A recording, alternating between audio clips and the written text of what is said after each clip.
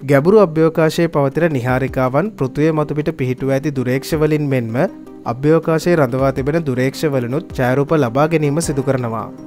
උදාහරණයක් විදියට නිහාරිකා වර්ගයක් වන සුපනෝව අවශේෂයක චෑරූපයක් අද දිනේ ලබාගෙන තවත් මාස කිහිපයකට පසුව නැවතත් එහි රූපයක් ලබා ගත්තොත් කිසිදු වෙනස්වීමක් දක්නට ලැබෙන්නේ නැහැ.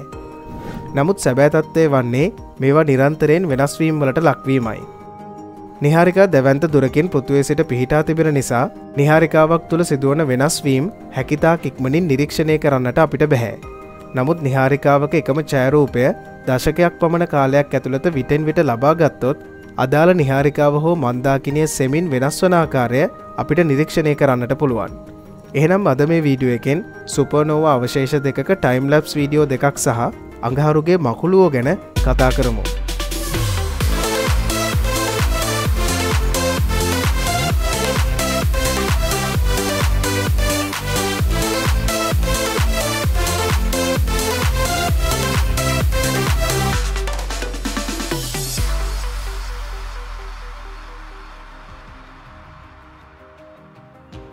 ඉතින් මේ ටයිම් ලබ්ස් වීඩියෝ දෙක නිර්මාණය කරන්න පසුගේ දිනක චන්ද්‍රා එක්ස් කිරණ නිරීක්ෂණාගාරයේ දත්ත භාවිතයට ගනිමින් තාරකා විද්‍යාඥයෙන් පිරිසක් සමත් වුණා.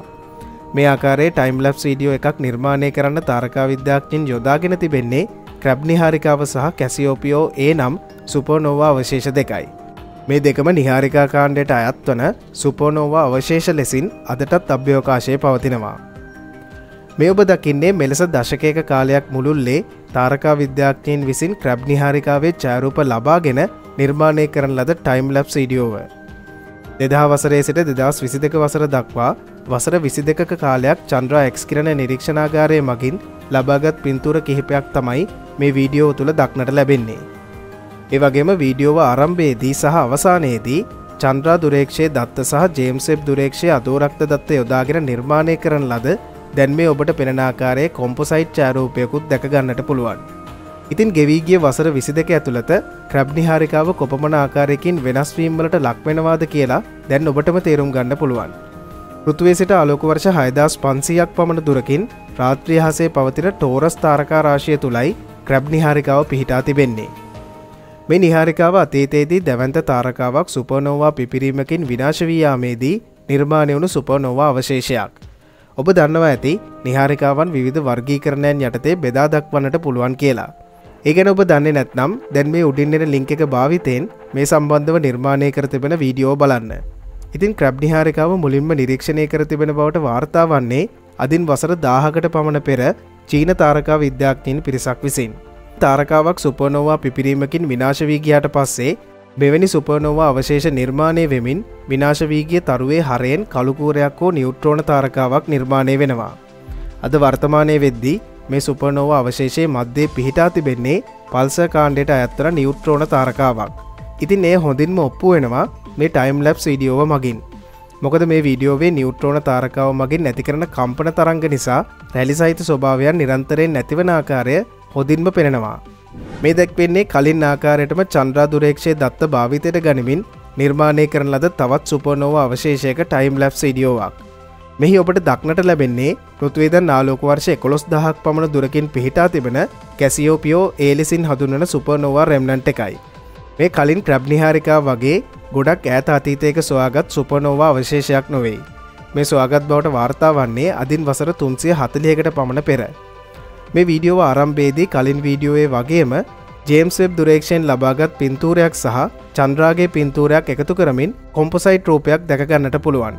ඉතින් ඔබට හොඳින්ම පේනවා ඇති තවමත් මේ සුපනෝව අවශේෂය විවිධ වෙනස්කම්වලට ලක්වමින් පවතින අන්දම. මේ පින්තූර කිහිපේ ලබාගෙන තිබෙන්නේ දෙදහ වසරේ සිට දෙදස් දානමය වසර දක්වායි.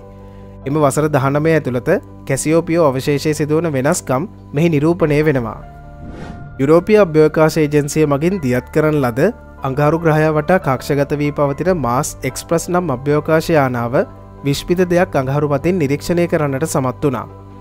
ඉතින් ඇත්තරම මේ වා දකින්නේ මොනවද. මකුලෝන්ගේ ස්වරූපයක් තමයි මේ පින්තූරේ මත දක්නට ලැබෙන්නේ. අඟහරු ග්‍රහයා මතත් පෘතුවය වගේම සීසන්ස් එහමත් නැතිනම් ඉර්තූන් නැතිවෙනවා. වාල දන්න වැති අඟහරු මත වැඩියෙන්ම තිබෙන්නේ කාබන් ඩයක්සයිට් කියලා මෙනිසා තමයි පෘතුවේ සිටින අපිට අඟහරු මතර ගොඩ බැස්සොත් හුස්ම ගැනීමට අපහසුතාවයක් ඇතිවන්නේ.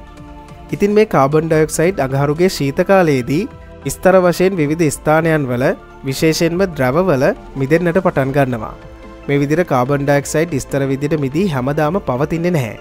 අගහරුගේ වසන්තීර්තුව නැතිනම් ස්ප්‍රින් සීසන් එක ළඟා වෙද්දී නැවතත් මේවා යථතත්වයට පත්වීමයි සිදුවන්නේ. එනම් සූරයාලෝකයේ මේ මිදුරු ස්තරවලට වැටි උණුසුම් වීමත් සමගින් තමයි මේ මකුළු වැනි අරුම පුදුම සිදුවීම අපට දැකගන්නට ලැබෙන්නේ. මේක තවදුරටත් විස්තර කරොත් අයිස් විදියට නිර්මාණය වුණු කාබන්ඩක්සයිඩ් ලේ එක සූරයාලෝකය නිසා පහළ ඉදන් වායුන් බවට නැවත පරිවර්තනය වෙන්නට පටන් ගන්නවා. මෙහිදී සිදුවන්නේ පහතින් පැමිණෙන වායුන්ගේ වැඩි පීඩනය නිසා ලේකේ පැළුම් ඇතිවීමයි. ඒ වගේම මේ පැළුම් වලින් කාබන්ඩක්සයිඩ් වායුව නිදහස්වීමත් සිදුවෙනවා. මෙහිදි නිදහස් වන කාබන්ඩක්සයිඩ් වායෝ සමඟ ලේකේ පහතින් තිබුණු අඳුරු දුහවිලි අංශූන් යම් ප්‍රමාණයක් ඉහලට ඇවිත් නැවතත් ඇති වූ පැළුම් මගින් පහලට ගමන් කරන්නට ගන්නවා. එහිදී තමයි අඳුරු ස්වරූපයකින් යුක්තව මේ පැළුම් අභ්‍යවකාශයට දැකගන්නට ලැබෙන්නේ. ඒ වගේම මේ පැළුම් වලින් කාබන්ඩයක්සයිඩ් වායුව නිදහස්වීමත් සිදුවෙනවා. මේ දැක්වෙන්නේ මාස් එක්ස්ප්‍රස්යානයෙන්ම ලබාගත් මෙවැනිමාකාරයේ තවත් පින්තූරයක්. මෙහිදී හොඳින්ම කුඩා තිත් ලෙසින් මකුළුවන් හැටති ස්වරූපය පැහැදිලිවම දැක ගන්නට පුළුවන්. ඉතින් මේ වීඩියෝ එක හොඳයි නම් ලයික් එකක් දාගෙන යන්න අමතක් කරන්න එපා. එහනම් අප ඊළඟ වීඩියෝකෙන් හමුවමු එතෙක් ඔබට සුබදවසක්.